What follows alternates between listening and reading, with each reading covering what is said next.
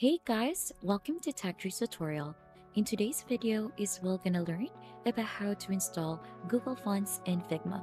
So onto this tutorial, we're gonna learn about adding a font to your Figma design. And for you to be able to do that, there are actually four steps for that one. So for you to be able to install Google Fonts, you'll need to go ahead and um, go ahead and include Google Font for that one. So this is actually by default already that Figma includes Google Fonts and Figma design files. So if you want to go ahead and use a different file, then you could install it into your computer to access it. So these are the steps for that. You need to prepare and download the font files and then right after install the font on your computer and install the Figma font helper. So this will only apply if you're using browser only, but if you have the app downloaded or desktop app downloaded, then you could go ahead and just skip this part.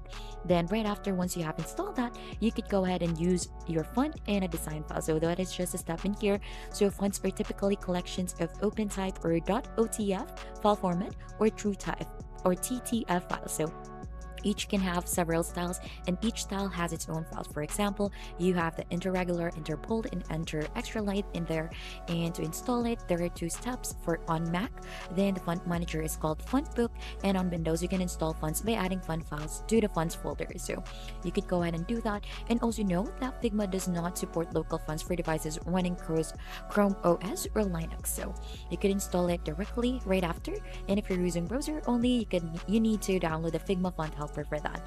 And that's just basically it on installing Google Fonts and Figma.